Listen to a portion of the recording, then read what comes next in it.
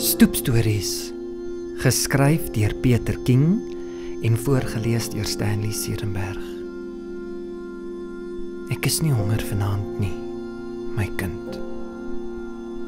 Ek sal sommer net 'n provita eet. Sê sy terwyl sy haar loopraam probeer nader trek. Voel maar. Okay. Vra ek so oor die laptopskerm. Die dag was lank en sy praat nie veel nie.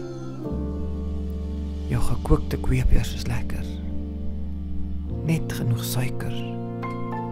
Nou kan ons maar eet saam met custard. O, nou honger maar vir maar uit vir die eetery môre. Praat ek agterna. Die tyd loop en dit word donker. Die hekkie is toe en saam loop ons tot waar sy huis toe gaan. Die ouderdom het sy merk gemaak en sy leef net vir môre en wat die kleinkinders saam met haar kan doen. Ek kyk hoe sy die voorhekkie oopmaak en in die huis in verdwyn. Stadig stap ek terug